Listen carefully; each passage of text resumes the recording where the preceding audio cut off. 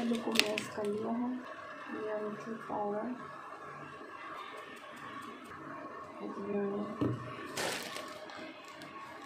Bread थोड़ा सी नमक। लाल मिर्ची। मसाला मिल गया है। ये ब्रेड ले लेंगे दो हम। पर हम पिज़्ज़ा सॉस लगा लेंगे। घी डाल दिया। और अब इसको हम पैक कर देंगे।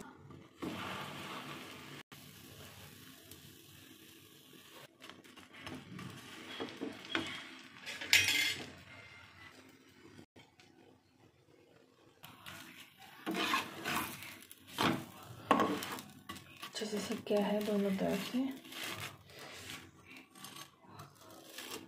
इसको तो इसमें यहीं पे कर लेते हैं।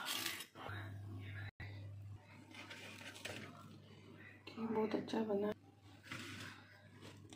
देखिए, बहुत आसानी से जल्दी से बन गया। आप भी बनाइए और खाइए।